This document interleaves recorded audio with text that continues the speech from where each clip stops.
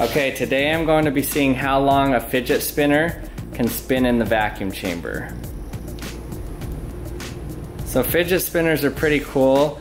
You can balance them on your finger like this when they're spinning. That's because they act like a gyroscope. They want to stay in their same plane. They don't want to tilt. This is actually the same reason why it's easy for a bike to stay up while it's moving because it doesn't want to tilt either way. So it's easy to stay up when it's moving, but as soon as it stops, it tips over. So in order to test this, I have to make it a fair test and I have to know its starting speed. So the way I'm going to do this is I'm going to blow compressed air on it at about 60 PSI. And so it should reach a terminal velocity, a maximum speed based on the velocity of the air coming out. And I'm going to get it to its terminal velocity and that'll be my starting speed in air and I'll get it to that speed in the vacuum also and then we'll have a fair starting speed between both of them. Okay, first we're gonna see how it goes in air. So this is in the vacuum chamber, but I'm not gonna vacuum it out. So let's get it to its terminal velocity right now.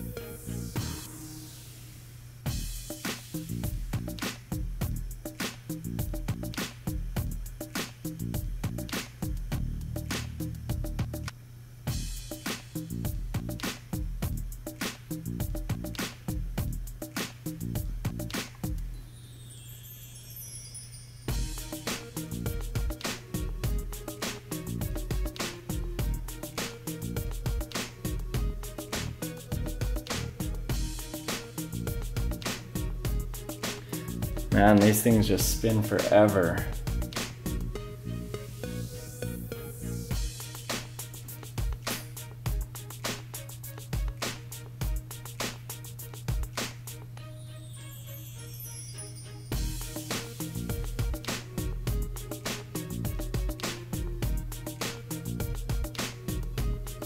And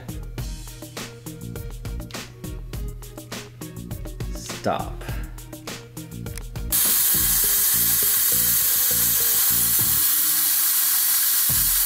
you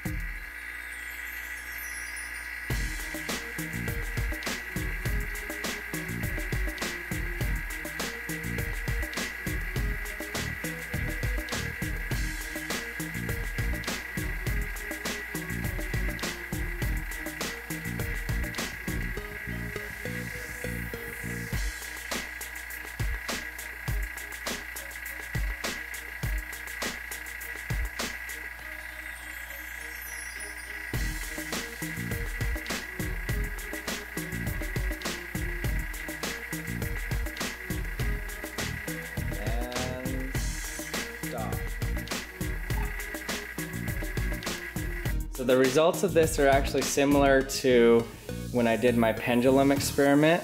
So I did an experiment where I swung a pendulum in the vacuum chamber and I showed there was not much of a difference between the pendulum swinging in a vacuum chamber and the pendulum swinging in air. They both swung about the same amount of time. It only made a huge difference when I put a big block of styrofoam on the pendulum and then of course the one in air slowed down a lot quicker than in the vacuum. But for things like this that are pretty aerodynamic already, it's actually just the friction in the bearings that slow it down, not the air. There is a little bit of air friction that's slowing it down, but you can see that it's pretty negligible.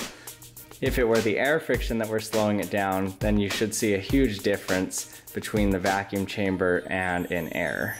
But that's not what we saw. So I'm a little surprised by this. Hi, thanks for watching another episode. I hope you liked it. If you're not subscribed yet, remember to subscribe and comment in the comment section with anything you'd like to see me do next time or any questions you have. I'll try to answer them and I'll see you next time.